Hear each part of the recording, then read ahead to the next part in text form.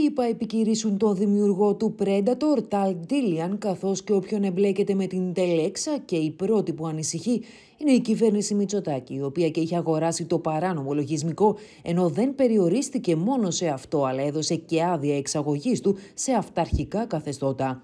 Συγκεκριμένα η ελληνική κυβέρνηση έδωσε άδεια εξαγωγής στην Ουκρανία, τη Μαδαγασκάρη και στο Σουδάν.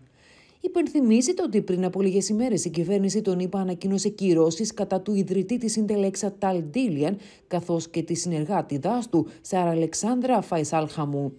Ανακοινώνοντας τις κυρώσεις, αξιωματούχοι του Υπουργείου Οικονομικών των ΗΠΑ κατηγόρησαν τον Ντίλιαν και την Χαμού ότι ανέπτυξαν και πουλούσαν λογισμικό υποκλοπής που στη συνέχεια χρησιμοποιήθηκε για να στοχεύσει Αμερικανούς πολίτες συμπεριλαμβανομένων κυβερνητικών υπαλλήλων των ΗΠΑ, καθώς και πολιτικούς και δημοσιογράφους, ενέργειες που επέτρεψαν να γίνουν παραβιάσεις των ανθρωπίνων δικαιωμάτων σε όλο τον κόσμο.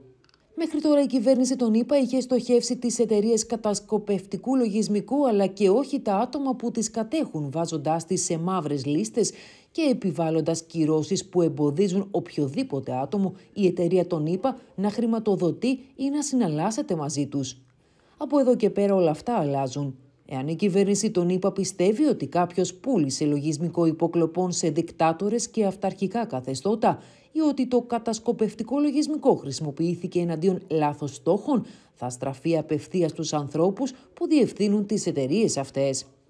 Οι Αμερικανοί είναι αποφασισμένοι να ασχοληθούν και με τους αντιπροσώπους του λογισμικού, δηλαδή τον Φέλιξ Μπίντζιο και τον Γιάννη Λαβράνου, οι οποίοι μαζί με τον Τάλ Ντίλιαν δεν έκαναν ούτε καν τον κόπο να καταθέσουν στην Επιτροπή Θεσμών και Διαφάνειας της Βουλής.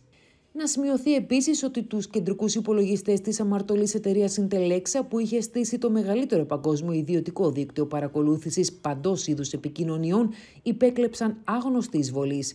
Αυτό σημαίνει ότι το σύνολο του περιεχομένου των υποκλοπών που διαπράχθηκαν έχουν περιέλθει στα χέρια ξένων μυστικών υπηρεσιών.